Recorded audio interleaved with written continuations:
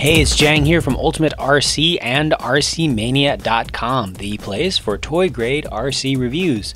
This is the video to accompany my full written review of the New Bright Rock Crawler. This is the new 2011 version that's updated compared to the Jeep Rock Crawler that I tested back in 2006. It has basically the same four-wheel drive chassis, but new wheels and tires, new springs, and a new body.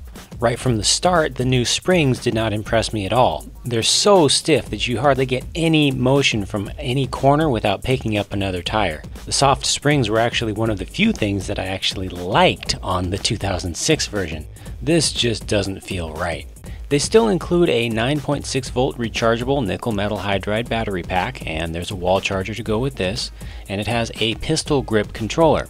Unfortunately, the steering is just full left, full right, but you do have full proportional control of the throttle.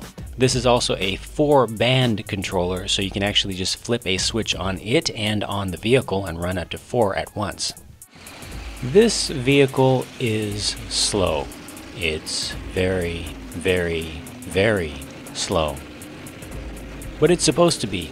This is not a racing vehicle. It is a rock crawler. It's designed to crawl over really rough terrain. It actually has enough power in its motors to go much, much, much faster than this, but it's geared down specifically to have a ton of torque. So let's see it try to climb over a rock.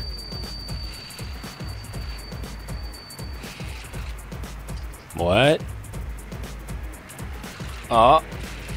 Oh. what do you know? It actually did it. How about something a little steeper?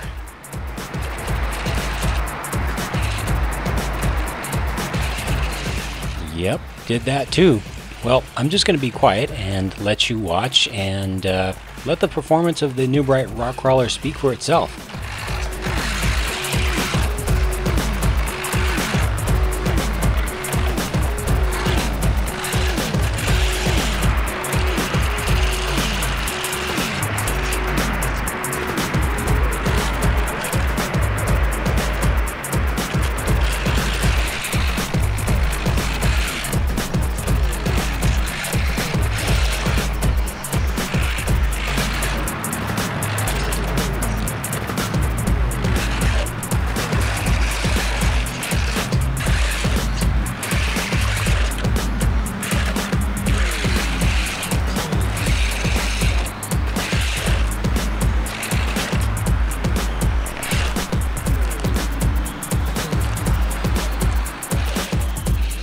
The new New Bright Rock Crawler is clearly a huge improvement over their previous models.